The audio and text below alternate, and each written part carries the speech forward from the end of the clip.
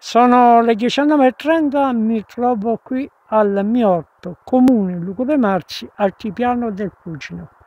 Il pomeriggio oggi, pomeriggio, ma siamo quasi alla serata, certamente 19.30, si presenta molto bene. Qui sono molto impegnato, ho molto da fare, ogni giorno c'è sempre qualche cosa da fare. È altrettanto vero che faccio sempre il eh, il pisolino il pomeriggio perché la notte e dopo mezzanotte mi alzo. Poi vengo qua, quindi il pomeriggio un'ora, due ore, forse anche tre ore, dopodiché ritorno qui. E quindi mi sento attivo, dinamico e soprattutto sono produttivo. A proposito, questa è la cicora selvatica.